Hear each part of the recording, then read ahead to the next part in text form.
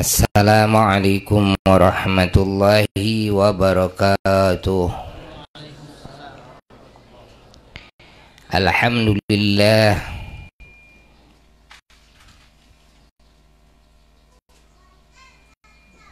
الذي هدانا للإيمان والإسلام.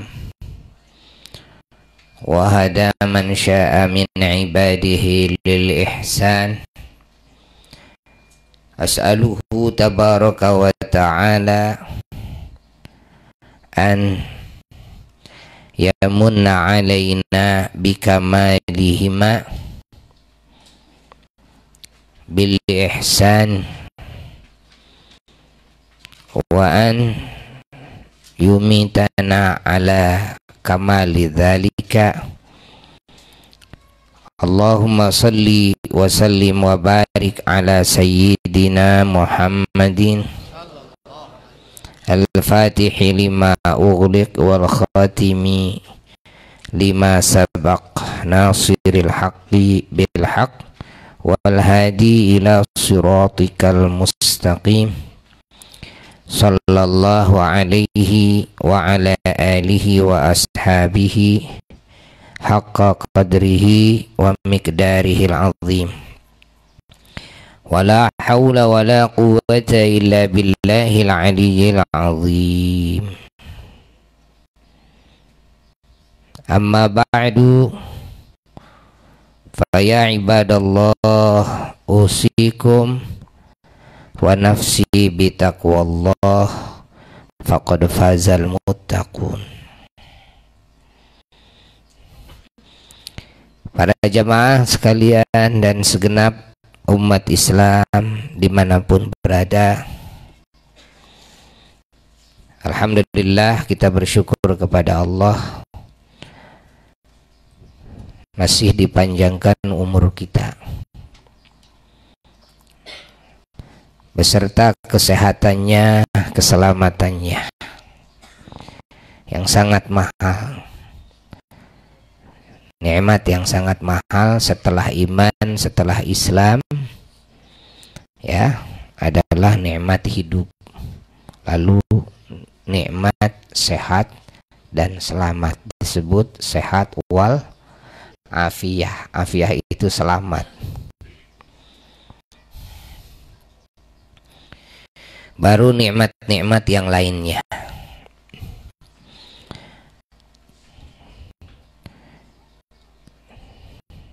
Dan nikmat iman, nikmat Islam di antaranya adalah kita dikasih petunjuk oleh Allah dan kemampuannya untuk bisa hadir di majelis ilmu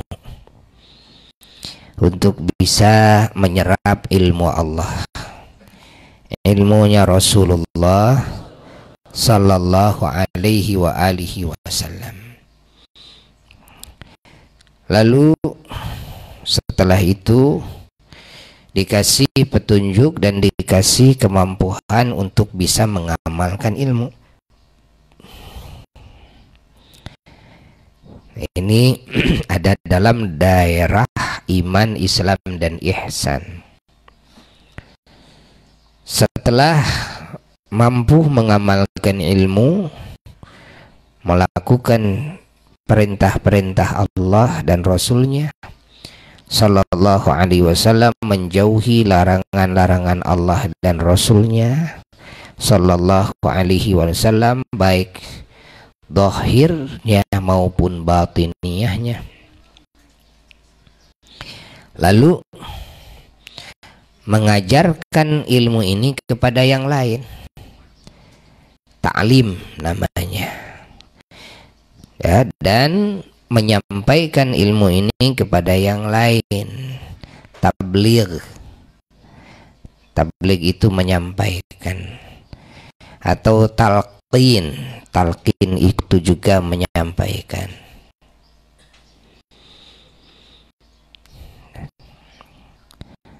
dan juga dakwah dakwah itu mengajak manusia kepada Allah. Mengajak manusia kepada Allah artinya luas. Ya di antaranya ngajak ngaji. Ngajak ngaji gitu kan. Mengajak manusia kepada Allah di antaranya juga kita mengajarkan ilmu Allah memberikan nasihat-nasihat yang datang dari Allah walaupun dengan bahasa masing-masing.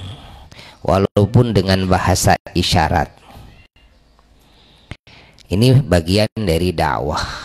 Mengajak manusia kepada Allah juga termasuk dengan amar ma'ruf nahi munkar.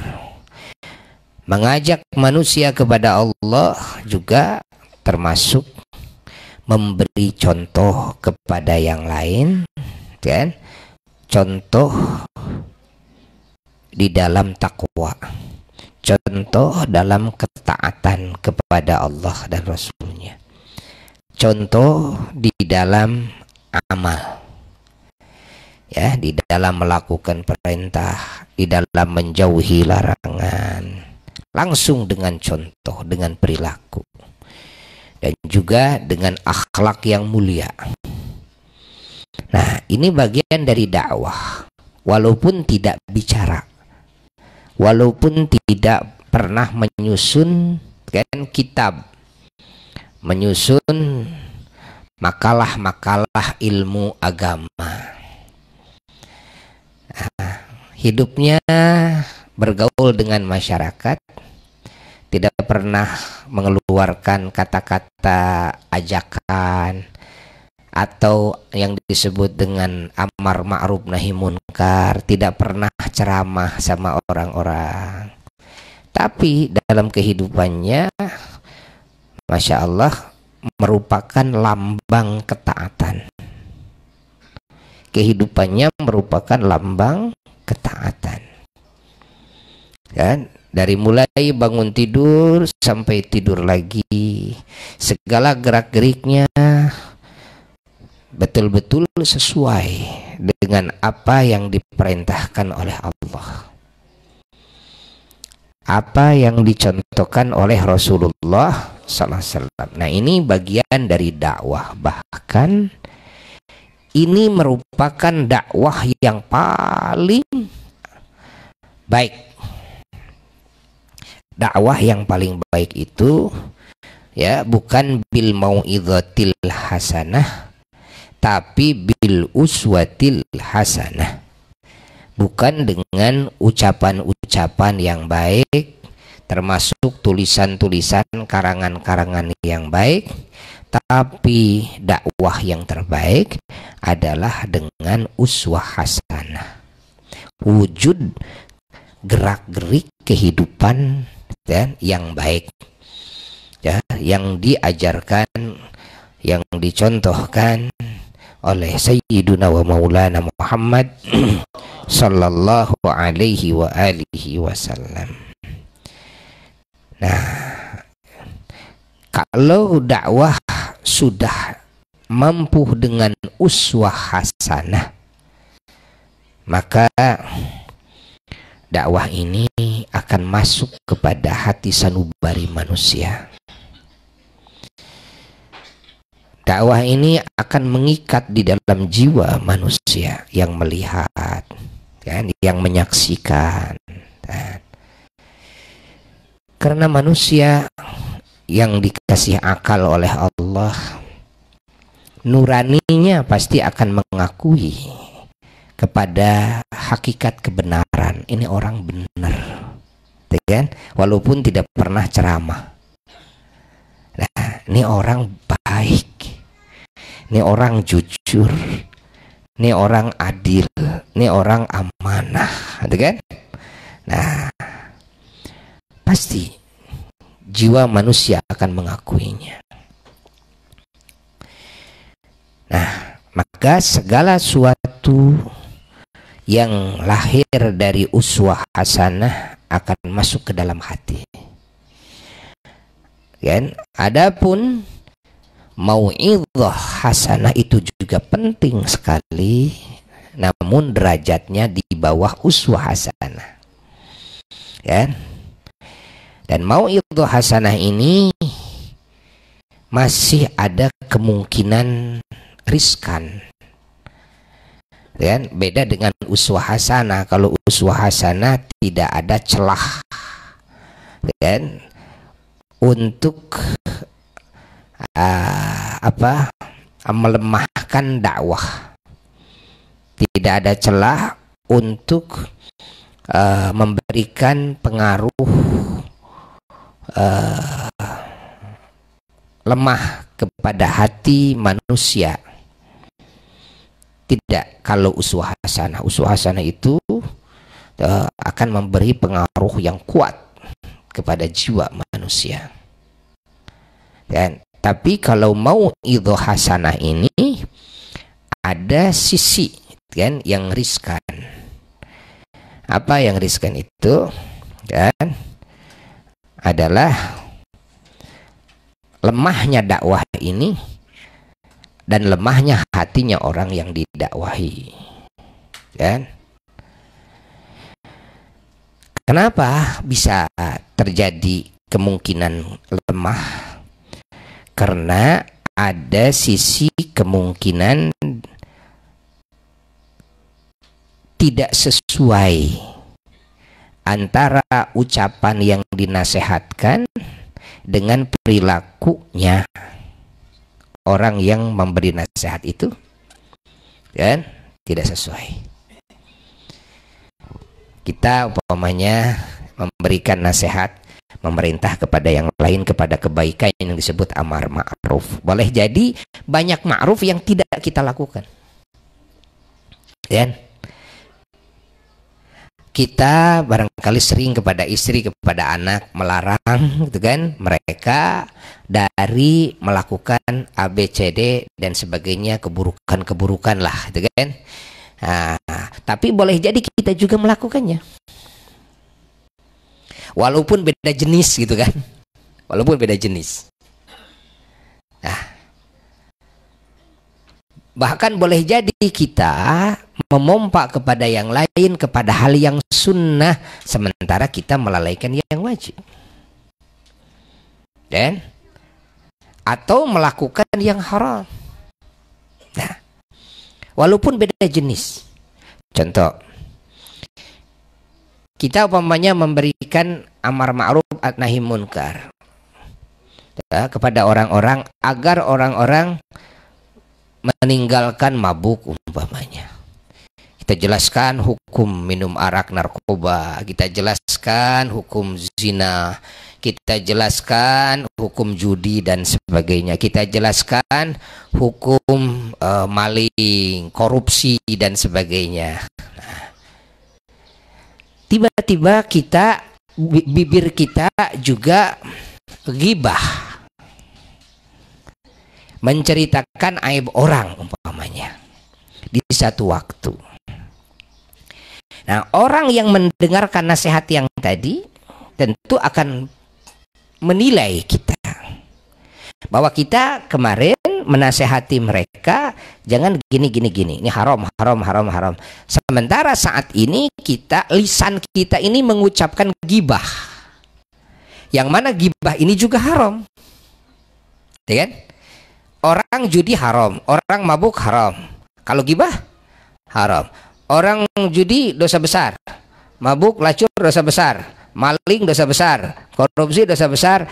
Kalau gibah dosa kecil apa dosa besar? Dosa besar juga. Cuma beda jenis, gitu kan? Tapi kedudukan yang disebut dosa itu di hadapan Allah yang dimaksiati ya sama berhadapan dengan murka Allah, berhadapan dengan siksa Allah. Kan? Allah murka, Allah mengancam dengan siksa kepada siapa pun yang melakukan maksiat. Mau jenis apa saja maksiatnya.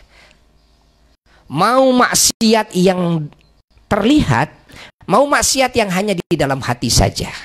Kan banyak maksiat hati yang tidak kelihatan orang pada itu dosa besar. Seperti apa? Suudzon. Buruk sangka dalam hati. Orang lain nggak tahu kalau hati kita suudzon kepada mereka. Seperti hasud, ya kan? Orang lain tidak tahu kalau hati kita hasud kepada mereka. Apa itu hasud? Nggak senang. Kalau orang lain dapat milik, dapat rezeki, dapat keberuntungan, nggak senang hati ini itu kan. Nah, ini hasud namanya. Kan hanya perasaan dalam hati. Atau juga di dalam hati merasa saya lebih baik daripada yang lain. Namanya takabur. Kan lain nggak tahu kalau hati saya takabur. Hati saya ujub, gitu kan? Yang lain kan nggak tahu kalau hati saya ujub.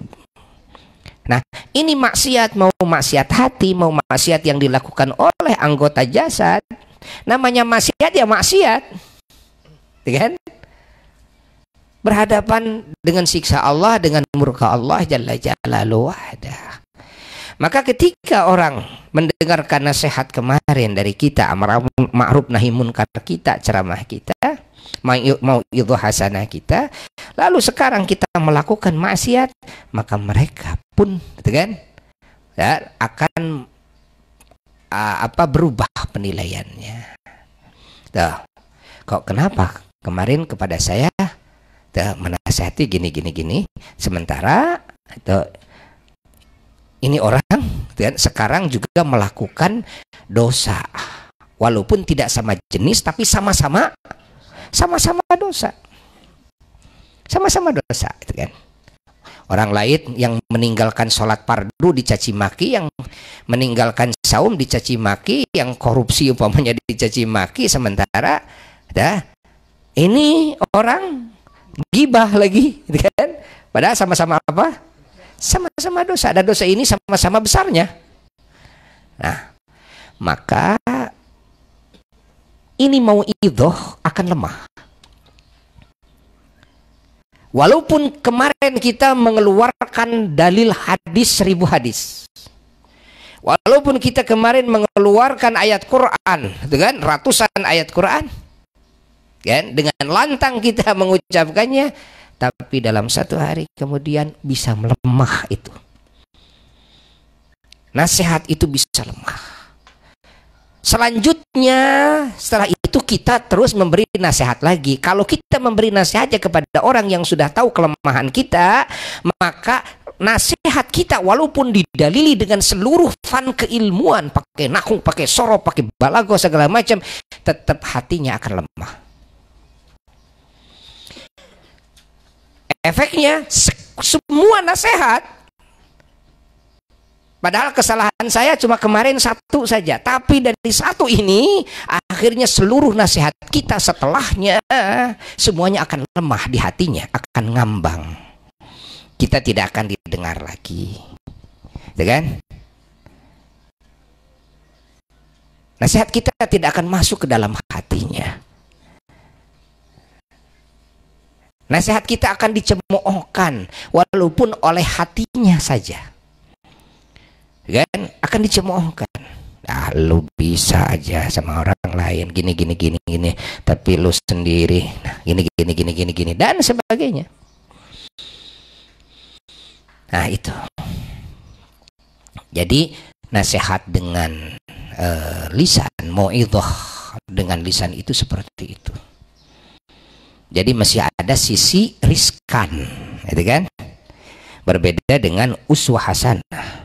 Dengan uswah hasanah perilaku kita, akhlak kita sudah mulia, meniru akhlaknya Rasulullah SAW. Semua sunnah-sunnah Rasulullah SAW kita lakukan dalam hidup, kan? Dari bangun tidur sampai tidur lagi, kan? Segala gerak gerik kita selalu sesuai dengan sunnah, kan? Segala hal makan minum dan sebagainya itu kan? Semuanya sesuai dengan sunnah itu kan? Kita ceramah kepada yang lain umpamanya bla bla bla bla ceramah dengan Quran dan hadis. Begitu kita minum minum dengan tangan kiri contohnya. Apalagi kalau kita sudah disebut ustad gitu kan? Ustad dai kok minum dengan tangan kiri gitu kan? Gitu kan? Coba gitu kan? Makan sambil berdiri gitu kan Nah, ini otomatis akan melemahkan seluruh nasihat yang sudah kita lontarkan. Puluhan tahun kita lontarkan nasihat, gitu kan? Ini akan melemahkannya. dan kesalahan kita itu akan memperkuat keberanian orang lain di dalam berbuat salah. Ya kan? Apalagi kitanya kiai. Lah kiai aja melakukan salah kok melakukan dosa kok. Nah, saya mah wajar-wajar saja bukan kiai kok. Ya kan? Itu kan? Makanya orang yang punya pengaruh itu kan larangannya lebih keras tuh. Larangan di dalam kan melakukan kesalahan itu lebih keras ketimbang orang yang tidak punya martabat. Para tokoh-tokoh, gitu kan? Para kiai, para pejabat. Nah, orang-orang yang yang terpandang di masyarakat itu larangan melakukan kesalahan itu wah itu harus berlipat-lipat itu Kenapa? Karena keberanian tokoh di dalam melakukan kesalahan akan melahirkan kan keberanian di hati masyarakat dalam melakukan kesalahan. Ya, pejabat saja kok maling. Ya, saya ya kenapa saya nggak boleh itu kan? Saya cuma maling kambing kok. Itu kan maling triliunan paling sekian ratus juta itu kan? Sekian ratus miliar. Wah sekian triliun gitu kan? Saya cuma maling domba sepuluh kok. Kalau saya maling domba umpamanya seumur hidup saya seribu gitu kan? Dia maling umpamanya satu miliar gitu kan? Ya masih masih banyak sisa kok. Ini ratusan miliar sampai triliunan tuh kan? Nah, nah bayangkan Siapa saya yang disebut tokoh? Tokoh itu kalau melakukan kesalahan, kan? Tuh, lalu terlihat oleh yang lain, ini akan memberi pengaruh keberanian masyarakat di dalam melakukan kesalahan. Nanti apa yang terjadi secara logika lahirlah masyarakat yang tidak baik. Gara-gara apa? Gara-gara tokoh yang tidak tidak baik. Tokoh tidak baiknya cuma satu kali, tapi masyarakat itu jadi kaidah, dan nah, masyarakat boleh jadi ke, ke, ke, ketidakbaikannya dalam segala hal. Nah, dan ini akan melahirkan sifat ketidaktaatan masyarakat kepada tokoh. Ya, nggak mau tokoh eh, masyarakat eh, taat kepada tokoh nggak mau masyarakat taat kepada ulama. Kalau ulamanya kelihatan seperti itu. Nggak mau masyarakat uh, taat kepada pemerintah kepada pejabat pemerintah. Kalau pemerintahnya seperti itu. Ini mah itu kan? Apa namanya? Sudah merupakan hukum adat. Hukum adat. Memang akan seperti itu ya, dalam matematika kebiasaan manusiawi kalau tokoh melakukan kesalahan, maka bawahan akan berani melakukan kesalahan. Dan bawahan dan akan uh, tidak taat kepada tokohnya. Ya, maka dosa kecil saja kalau dilakukannya oleh tokoh itu menjadi besar Dosa kecil kalau dilakukannya oleh tokoh menjadi besar. Kenapa? Karena efeknya dengan ke sana kemari efeknya beda dengan masyarakat jelata. Masyarakat jelata dosa besar sebesar apa pun yang lain nggak akan meniru kepada dia. Tapi kalau tokoh bisa ditiru, tuh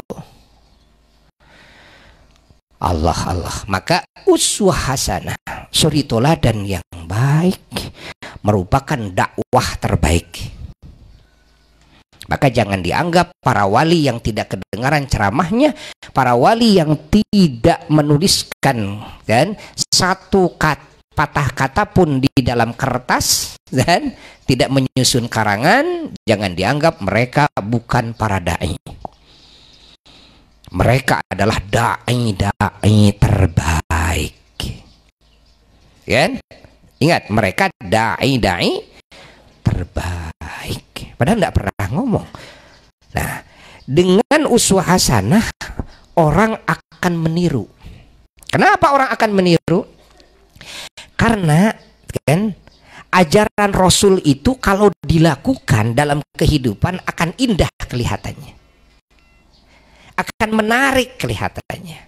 Ini akan jadi magnet. Ya dan akan menjadi solusi bagi segala permasalahan hidup. Akan melahirkan keberkahan dalam hidup. Kalau ajaran Rasul dilakukan dengan sebenar-benarnya. Nah, lalu kebiasaan manusiawi bahwa manusia itu suka saling tiru, kan? Kepada kebiasaan orang lain. Itu kebiasaan manusiawi, saling tiru. Dan Coba kita sekarang kan banyak dalam kehidupan sehari-hari itu kan anak muda, anak kecil, orang tua ingin meniru ucapan, gaya gitu kan, gerakan ingin meniru, meniru yang di TV, meniru yang di situ, meniru yang ingin meniru gitu kan. Meniru yang iklan dan sebagainya. Ucapan aja ingin niru. Gitu kan? Bayangkan Hatta kita umat Islam di zaman sekarang ini nyaris gitu kan? Nyaris kehilangan figur. Padahal kita punya figur terbaik adalah Rasulullah sallallahu alaihi wasallam. Tapi ketika hati ini lupa kan kepada Rasul sallallahu alaihi wasallam lalu mata telinga semuanya dengan menyaksikan apa yang terjadi dalam kehidupan ini yang mana orang-orang banyak yang memunculkan sifat-sifat dan gaya-gaya hidup yang tidak baik gitu kan? Lalu nafsu ini pingin meniru. Pingin meniru. Nyaris ustad aja kiai aja gitu kan? Dai aja gayanya ingin niru si dia omongannya ingin niru mereka padahal kita ini subhanallah punya suri dan teragung Rasulullah sallallahu alaihi Ya kalau orang awam pantaslah umpamanya masih uh, apa uh, gampang gitu kan condong meniru yang lain. Ya. Tapi kalau seorang ustadz, seorang dai, seorang kiai apa hatinya tidak pernah mengingat Rasulullah? Apa tidak tahu bagaimana kehidupan Rasulullah sehari-hari? Kan? Bagaimana Rasulullah ibadahnya, bagaimana Rasulullah makan, bagaimana Rasulullah minum, bagaimana Rasulullah kalau berbaring tidur, bagaimana Rasulullah kalau bangun, bagaimana Rasulullah bergaul, bagaimana Rasulullah Rasulullah terus Rasulullah. Dan berjalan duduk bangkit dari duduk senyumnya segalanya nangisnya.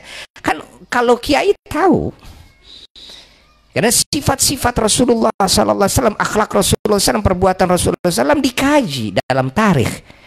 Dan dikaji dalam hadis-hadis Rasulullah SAW dan yang diterima daripada sahabat-sahabat Nabi dan ahlul bait Nabi yang menyaksikan kehidupan Nabi sehari-hari karena Rasulullah SAW begini, Rasulullah begini, Rasulullah begini, Rasulullah begini, begini, begini, begini. Nah, namun walaupun ini seorang ustadz, ketika Rasulullah hilang dari hatinya, gitu kan? Nah, lalu dia menyaksikan fenomena yang ada, perilaku, ucapan, gaya hidup orang-orang yang ini orang-orang ini tidak ada hubungan dengan Rasulullah Orang-orang ini bahkan tidak ada hubungan dengan Allah. La iman wala Islam. La ilim, doh, tidak ada ilmu, tidak ada adab dan sebagainya. Nah, tapi nafsu ini tetap ingin meniru mereka. Ingin meniru mereka. Ya Allah. Nah, itu yang menjadi sebab karena menghilangnya, kan? Gambaran Rasulullah Sallallahu Alaihi Wasallam dari hati. Nah, maka diperlukan setiap Muslim dan hatinya selalu hadir kepada Allah dan hatinya selalu memandang kepada kehidupan Rasulullah. memandang kepada akhlak Rasulullah selalu hatinya memandang Rasul sehingga sehari-harinya selalu bersama Allah dan bersama Rasulnya hari-harinya tidak pernah putus ingatannya dari Allah dan Rasulnya Sallallahu alaihi wa alihi wasallam Nah kalau sudah bisa seperti ini ah, Ini orang akan menjadi orang yang mulia kan? Orang yang bisa melakukan kan? Apa yang diajarkan oleh Rasulullah Sallallahu alaihi wasallam Maka akan terlihat indah. Karena ajaran Rasul ajaran yang indah. Ajaran Rasul ajaran keadilan. Ajaran Rasul SAW ajaran kebenaran. Dalam segala hal ajaran Rasul SAW ajaran kesehatan. Ajaran Rasulullah SAW kan? Ajaran keterpujian ajaran keterdepanan ajaran keunggulan ajaran kesempurnaan itulah ajaran Rasulullah Sallallahu Alaihi Wasallam nah nanti kalau kita sudah bisa seperti itu, maka siapa pun orang-orang yang menyaksikan kita akan tertarik kan dengan magnet ini. Magnet nubuah, magnet kenabian yang ada pada diri kita. Akan tertarik kan? Mereka yang tadinya badung akan jadi soleh. Melihat apa? Ya melihat kita. Solehnya itu hanya dengan melihat saja mereka yang lupa kepada Allah akan jadi mengingat Allah. Mereka yang tadinya tidak sadar-sadar akan sadar merasakan banyak dosa, bodoh dan sebagainya, itu kan? Cuma karena melihat mereka yang tadinya malas ibadah, sholat, malas, itu kan? Akan jadi semangat, kan? Akan jadi getol, itu kan? Ibadah hanya dengan apa? Dengan melihat. Mereka yang akhlaknya tercela akan berubah menjadi akhlak terpuji, gitu kan? Hanya gara-gara melihat. Kan? Nah, orang yang bisa mengikuti akhlak Rasulullah SAW, dia akan menjadi wali Allah. Ini yang diisyaratkan oleh Rasulullah Sallallahu Alaihi Wasallam ketika ditanya oleh salah seorang sahabat, siapa mereka para wali-wali Allah itu? Rasulullah menjawab, hum mereka adalah alladzina idza ru'u dzukirallah. Alladzina idza ru'u mereka adalah orang-orang yang kalau dilihat gitu kan? Kalau dilihat oleh kalian gitu kan maka Allah akan diingat oleh kalian. Kan? Kalau dilihat oleh manusia maka Allah akan diingat oleh manusia. Jadi manusia akan langsung ingat Allah. Manusia akan langsung jadi jujur, manusia akan langsung menjadi uh, baik seketika hanya dengan lihat wali Allah. Kenapa? Karena melihat fenomena kan? Akhlak dan sifat dan perbuatan ucapan Rasulullah SAW pada dirinya. Pada diri orang ini. Allah. Maka ini PR bagi kita bersama ya. Tidak akan benar tidak akan baik kehidupan muslim ya siapa pun. Kecuali kita semuanya pertama-tama bagaimana dalam hidup ini bisa meniru baginda Rasulullah SAW mengikuti akhlaknya Rasulullah Sallallahu Alaihi wa alihi Wasallam. Lalu mau itu hasanah nomor berapa? Nomor dua ya, setelah mau itu hasanah mujadalah hasanah ada uswah hasanah ada mau itu hasanah ada mujadalah. Apa mujadalah? Diskusi yang baik. Billati ahsan. Wajadilhum billati ya diskusi yang baik karena sewaktu-waktu orang butuh uh, pengertian. Ya, barangkali dia punya pemikiran lain. Nah, di sini kita harus siap untuk mengutarakan dalil-dalil yang akurat dengan cara yang baik, dengan adab, dengan sopan, dengan akhlak. Dengan tetap menjaga persaudaraan ukhuwah dan menjaga perasaan orang lain. Yang mana kita diskusi dengannya tidak ada caci maki hina atau memperlihatkan kesombongan atau ada keinginan dia kalah. Tidak untuk mengalahkan diskusi itu. Tapi diskusi itu bagaimana orang semuanya bisa melihat hakikat kebenaran. Itu. Dengan penuh kasih sayang ini bila hiasan. Mudah-mudahan kalimat ini manfaat bagi yang ngomongnya dan bagi yang mendengarkannya dan Al-Fakir sendiri dan keluarga keturunan semuanya dan kita semuanya oleh Allah dikasih rizki yang paling kita uh, apa cita-citakan apa bahwa hidup kita ingin penuh dengan hidayah dan taufik dari Allah. Hidup kita ingin menjadi uswatun hasanah ya sampai kita mati di dalam uswah hasanah ini. Bijahin Nabi sallallahu alaihi wasallam wa bisri asril Fatihah.